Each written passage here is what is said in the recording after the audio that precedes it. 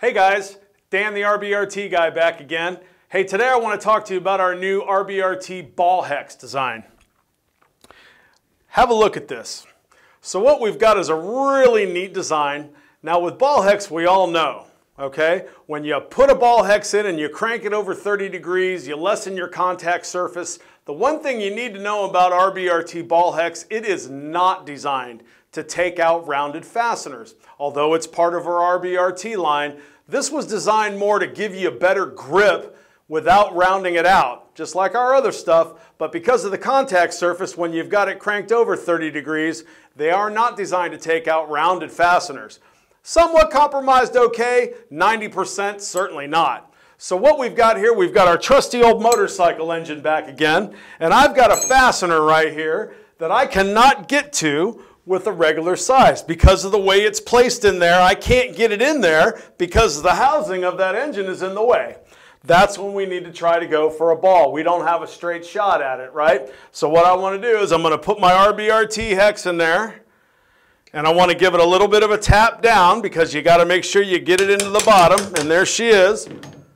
Grab our ratchet and because she's cranked over, right? And the way these RBRT designs, they lock into the corners. So even at 30 degrees, cranked all the way over, this bad boy's not going to slip out of there. That's where the damage happens with the ball hex. If anybody of you guys have some experience with that, you crank it over, you put some torque in, and they pop out of the fastener and they round it at the same time.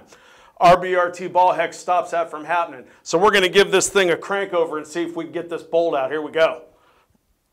And look at that, out she comes.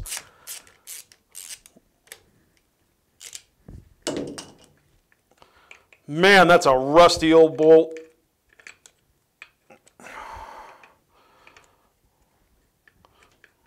And we'll just use our fingers to get it out the rest of the way. Look at the rust that's in that bolt. A regular ball hex may have rounded that out. The RBRT did not. They go in, they lock into the corners. You can crank it all the way over 30 degrees, and out she comes. Look at that. RBRT ball hex. Not designed to take out rounded fasteners, but let me tell you what, guys, if you need a good ball hex, best one on the market. I'm Dan, the RBRT guy. Thanks very much. Like and subscribe. Hit that uh, bell. We'll be back with you with more videos. Thanks very much.